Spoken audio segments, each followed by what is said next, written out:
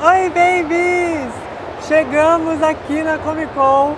Estamos de volta, porque ano passado a gente veio. Eu não vim não, tava lá nos Estados Unidos, Tava bem lá. tristinha, primeira vez na Comic Con, gente.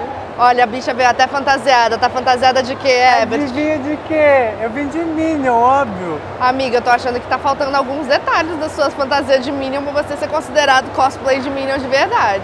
Você vai ver lá embaixo que vai soltar um VT aqui pra vocês verem quanto de Minions eu encontrei. Tô olha, vendo. ninguém? Tô vendo ninguém, gente. Será que ele conseguiu achar o Minion? Roda o VT aí. Gente, não encontro Minions nesse lugar, eu não sei o que está acontecendo. Cecília, vem comigo que eu acabei de encontrar um monte de Minions e eu quero falar com eles. Oi moço, tudo bom? Oi, tudo bom? Qual é o seu nome? Kevin. Kevin, você está vestido de Minion? Tô o quê? Você está vestido de Minion? Cara, não como eu gostaria igual você tá, mas né, estamos aqui tentando. Puxa vida, né? Que tem fantasias, infelizmente, que são melhores. Fantasias, cosplays, né? Cosplayers, é, vamos falar certo, né, por favor. Eu tô aqui no meio da Comic Con Experience. a Cecília, a Xixilha não me aguenta mais. E hoje é só o primeiro dia e ela não me aguenta mais, né, Cecília? Ô, Cecília. Moça! Você tá de Minion? Você tá de Minion? Tô de Cone. Cone, Steve Universe. Vou ter que ir atrás de mais Minions então. Oi, moço, tudo bom? Você viu algum Minion por aqui? Não, Nenhum Minion na Comic Con. não. Não é possível, gente. Socorro, minha nossa senhora. Alguém. Tudo bom? Vocês viram Minion aqui? Não, nenhum Minion na Comic Con inteira. Babies, tá muito difícil essa procura pelos Minions.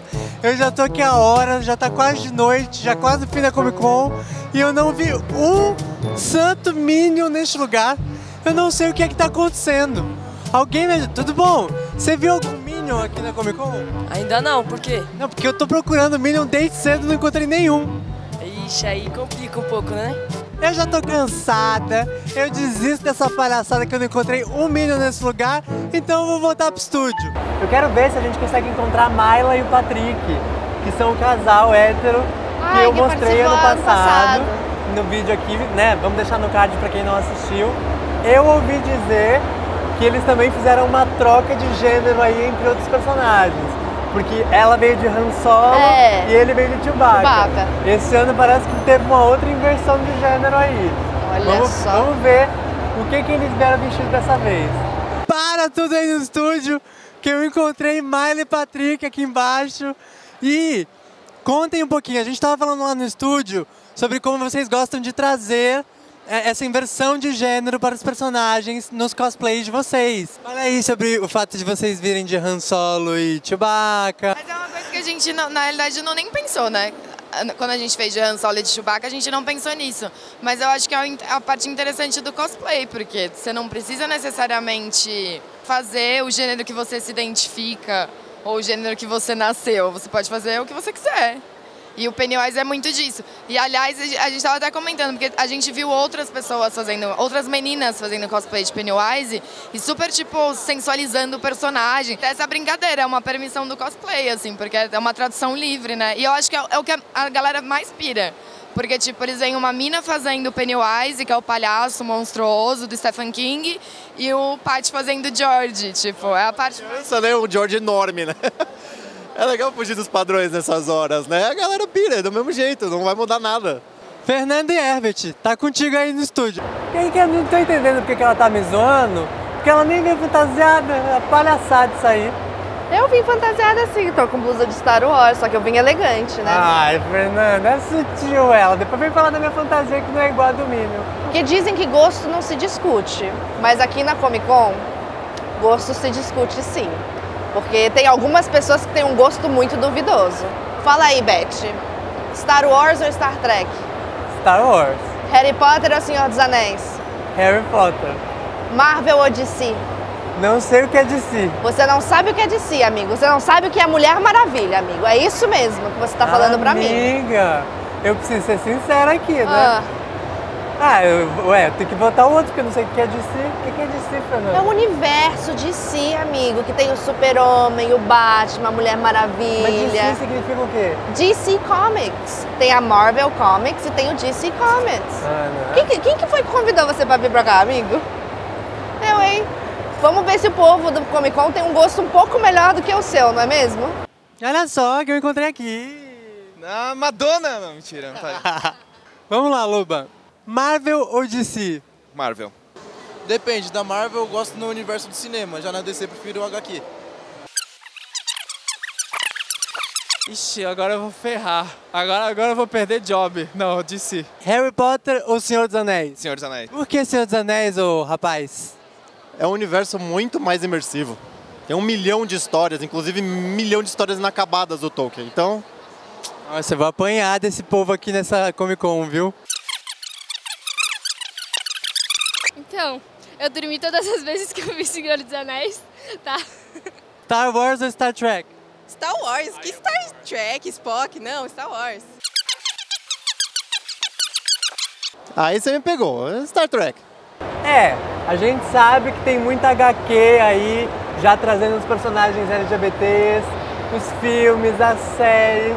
Rumores de que Star Wars vai finalmente introduzir um personagem LGBT. Rumores. Lésbica?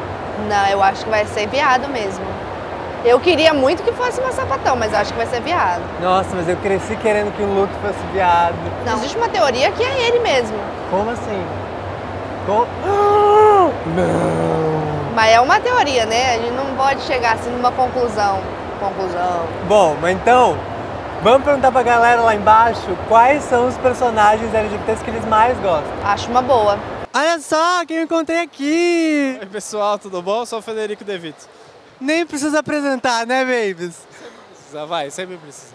Me conta, Devito, qual é o seu personagem LGBT favorito? Personagem LGBT? Pois é, essa é a melhor pergunta, porque tem tão poucos, né? Pois é. Pouquíssimo. Eu sou o Batman, mas é assim, não dá pra dizer, porque tem aquele caso Batman e Robin, mas é a gente que cria o chip. Ele não existe de verdade. Mas eu acho que, eu, assim, não é LGBT, mas é o Batman. Podiam criar, é verdade. É a melhor pergunta pra esse A gente quer mais personagens LGBTs. Então, assim, quem você tiraria do armário? Ah, Lanterna Verde, que ele tem, ele tem alguns quadrinhos que ele dá beijo no namorado dele. E podiam já fazer isso no cinema, aparecer no próximo filme já. Por favor, por favor, é só o que a gente quer ver. Eu também acho. Me conta o seu personagem LGBT favorito. Ah, Lanterna Verde, conta? Conta. Foi- ele, ele foi, assumiu assim depois, mas, mas eu acho que conta. Conta, claro que conta. Me conta aí um personagem LGBT desse universo geek. A mística dos X-Men. Pô, um personagem LGBT.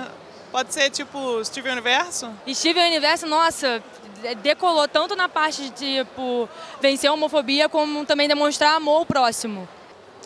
Olha, tinha o do LOL, do meu amigo.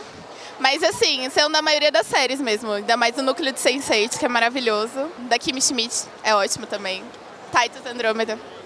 A gente tá pedindo justamente pra galera ter bastante referência de personagem. Tem a Amanda Flowers, Scott Pilgrim, que é uma personagem bi, inclusive. Que a história é basicamente sobre ela e Scott tá lá só de paisagem mesmo. Qual o seu personagem LGBT favorito? Personagem LGBT do universo geek, você conhece algum? Não. Travei, não consigo dizer. Por que será? Não consigo dizer. Porque é uma tristeza isso, né? Devia ter, realmente, de fato. LGBT. É, O intuito da entrevista, no caso mesmo, é mostrar que é difícil mesmo. Gente, tô chocado porque não tem super-herói LGBT. Até que eles não podiam falar que o Aquaman, de repente, a gente ia gostar, gente, mas se a Mulher Maravilha tivesse um romance com outra mulher, ia ser a melhor coisa do mundo. Mas tá faltando aí. Eu acho que a DC ou a Marvel podia dar uma incrementada no- na galera. A gente encontrou um monte de gente por aqui, né? E tem também muitos artistas, porque tem umas mesas onde a galera traz as artes para vender. Foi até onde a gente encontrou a Carol Rossetti ano passado. É, e a gente vai atrás dos artistas LGBTs que estão aqui com as suas artes. São vários, são vários. São vários. Vamos atrás para falar com eles, espero que a gente consiga. Será? A gente vai conseguir, dá uma Será que aí. existe LGBT Será? na Comic Con? Na Comic Con.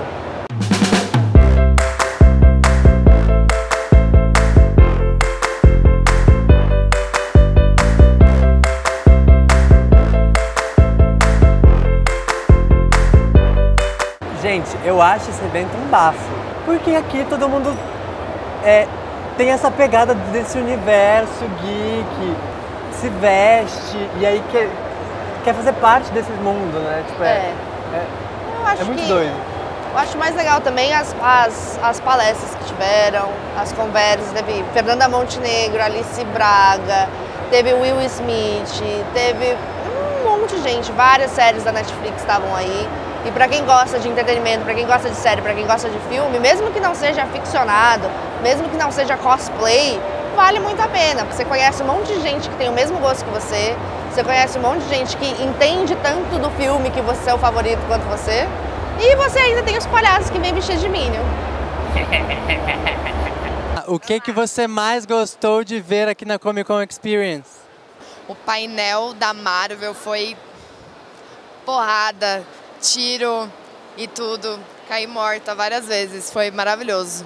O que mais gostei de ver na Comic Con, na verdade, foi como esse lugar está crescendo, como esse evento está crescendo, como as pessoas estão acreditando mais e o Omelete está sabendo lidar com tudo. Então, tá dando muito certo, assim, tá crescendo muito a cultura, as pessoas estão se soltando mais, tem muito mais cosplayer.